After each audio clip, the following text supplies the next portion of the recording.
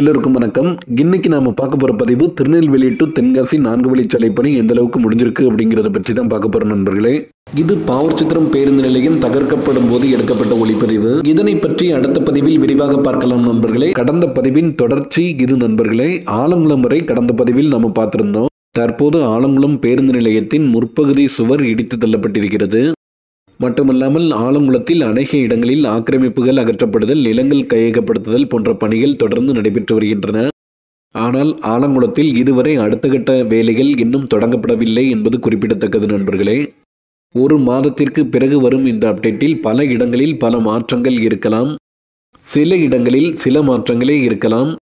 இருந்தாலும் இந்த நான்கு வழிச்சாலை பணி குறித்து திருநெல்வேலி தென்காசி மாவட்ட மக்கள் மட்டுமல்லாமல் தமிழகம் முழுவதும் உற்று நோக்கி வருவதால் இந்த அப்டேட் வழங்கப்படுகிறது. பேரன்பு மிக்க நண்பர்களே ஆலங்குளத்தின் தொட்டியன்குளம் அருகே மேம்பாலம் அமைய இருப்பதாக தகவல்கள் வெளியாகி இருக்கின்றன. பந்தாரை வாழ வைக்கும் ஆலங்குளம் நகரை எடுத்துக்கொண்டால் முன்போல் அல்லாமல் தற்போது மிகவும் அதிக அளவில் வளர்ச்சி கண்டிருக்கிறது. அதே சூழ்நிலையில் வாகன நெரிசல் அதாவது ஆலங்குளம் எந்த அளவிற்கு வளர்ச்சி அடைந்திருக்கிறதோ அந்த அளவிற்கு வாகன நெரிசலும் அதிகமாகி இருக்கிறது என்பது உண்மை. பேரன்பு மிக்க நண்பர்களே தற்போது நாம் ஆலங்குளம் மலைக்கோவிலை கடந்து சென்று கொண்டிருக்கிறோம். இந்த இடங்களெல்லாம் மரங்கள் மாற்று இடங்களில் மாற்றி நட்டு வைத்திருக்கிறார்கள். அதில் வலதுபுறத்தில் நீங்க கவனிச்சீங்கன்னா மாற்று இடங்களில் மாற்றி வைக்கப்பட்ட மரங்கள் அனைத்தும் தற்போது நடப்பட்டிருக்கும் மின்கம்பங்கள் நேராக அமைக்கப்பட்டிருக்கிறது என்பது குறித்தும் ஒரு சில புகார்கள் எழுந்துள்ளன. அதே சமயம் காமனாக ஒரு விஷயத்தை பார்த்தோம் அப்படின்னா இப்போ நான்கு வழிச்சாலை பணி அப்படின்னா கிராமங்கள்லேயே நான்கு வழிச்சாலை பணிக்கு தேவையான சர்வீஸ் ரோடு வந்து கண்டிப்பாக அமைக்கப்பட வேண்டும். ஏனெனில் அது கிராமமாகவே இருந்தாலும் சர்வீஸ் ரோடு இருந்தால் விபத்துகள் ஏற்படும் வாய்ப்புகள் மிக குறைவு என்பதுதான் உண்மை நண்பர்களே.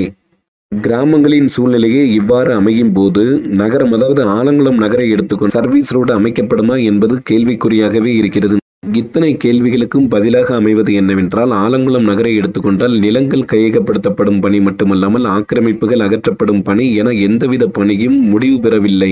அத்தனை பணிகளும் ஆரம்பித்த கையோடு நின்று இருக்கிறது நான்கு வழிச்சாலை பணி முடிக்கப்பெற்று சர்வீஸ் சாலையும் அமைக்கப்பட்டால் அதற்கு அதிக அளவில் இடம் தேவைப்படும் என்பதே உண்மை.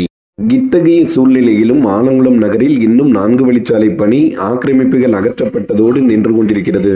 அதே சமயத்தில் ஆலங்குளம் நகரத்தில் பேருந்து நிலைய மாற்றம் குறித்தோ அல்லது சர்வீஸ் சாலை அமைக்கப்படுவது குறித்தோ இன்னும் எந்தவித முடிவும் அறிவிக்கப்படவில்லை. மேலும் நாம் தற்போது அத்தீத்து கிராமத்திற்கு கிழக்கு பக்கமாக வந்து கொண்டிருக்கிறோம். அத்தியீட்டு கிராமத்தை பற்றி நம்ம ஏற்கனவே சொல்லியிருக்கோம். அதுல வந்து சுரண்டை கோவில்பட்டி மட்டுமல்லாமல் சிவகாசி வரை செல்லக்கூடிய ஒரு முக்கிய இணைப்பு சாலை அத்தீட்டில் இருந்து பிரிகிறது என்பது குறிப்பிடத்தக்கது.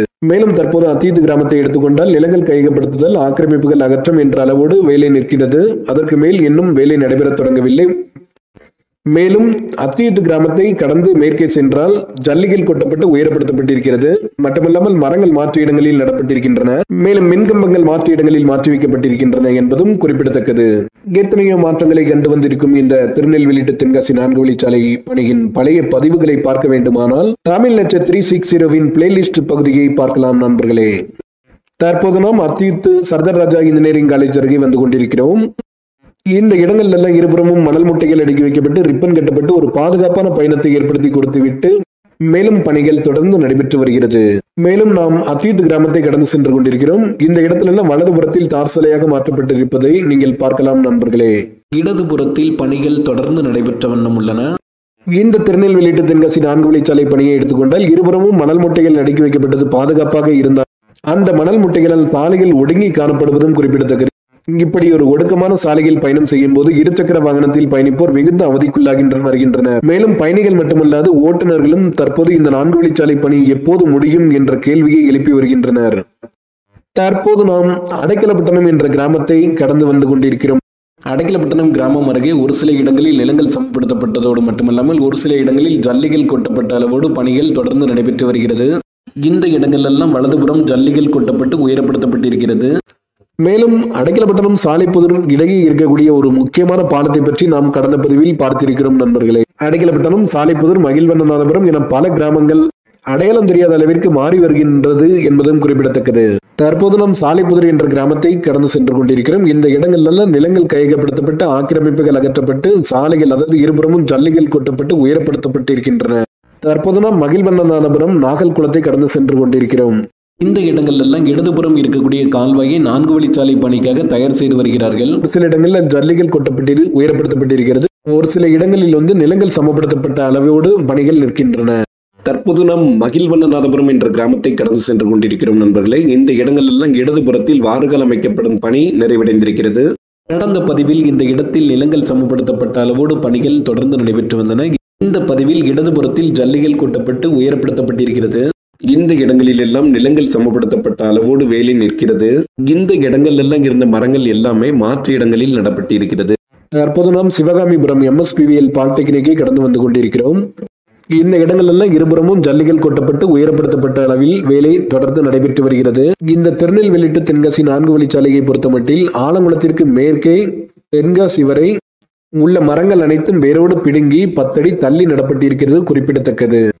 மேலும் நண்பர்களே கீழப்போவர் விளக்கு மட்டுமல்லாமல் பாவச்சத்திரம் காமராஜர் காய்கறி market Pavachatram union office DPS school என பல இடங்களில் ஆக்கிரமிப்புகள் அகற்றப்பட்டு நிலங்கள் கையகப்படுத்தப்பட்டிருக்கின்றன.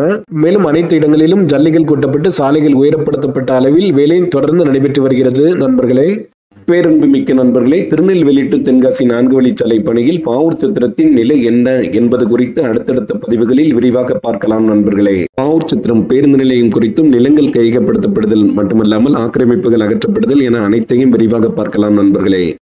அதுவரை மட்டுமல்லாது தொடர்ந்து இணைந்திருங்கள் தமிழ் நெச்சர் த்ரீ சிக்ஸ் ஜீரோவுடன் ஹாய் ஃப்ரெண்ட்ஸ் இந்த மாதிரி சுவாரஸ்யமான தகவல்கள் பசுமையான இடங்கள் அதை பற்றிய பதிவுகள் நம்ம அழகான ரிசார்ட்ஸ் பூங்காக்கள் அருவிகள் அணைக்கட்டுகள் அது மட்டும் இல்லாமல் நிறைய விஷயங்களை பற்றி தெரிஞ்சுக்கிட்டதுக்காக தொடர்ந்து இணைந்திருங்கள் தமிழ் நட்சத் த்ரீ சிக்ஸ் ஜீரோவுடன் இதுவரைக்கும் நம்முடைய சேனலில் சப்ஸ்கிரைப் பண்ணாதவங்க கண்டிப்பாக சப்ஸ்கிரைப் பண்ணிடுங்க இது போன்ற தகவல்களை வந்து தொடர்ந்து நீங்கள் பெறுவதற்கு பக்கத்தில் இருக்க பெல் பட்டனை மறக்காம தட்டிடுங்க. இந்த தகவல்கள் எல்லாம் கண்டிப்பாக உங்களுக்கு பிடிச்சிருக்கும். உங்களுக்கு பிடிச்ச இந்த தகவல்களை உங்கள் ஃப்ரெண்ட்ஸுக்கும் கண்டிப்பாக நீங்கள் ஷேர் பண்ணுங்கள் என்றும் அன்புடன் Tamil nature three six zero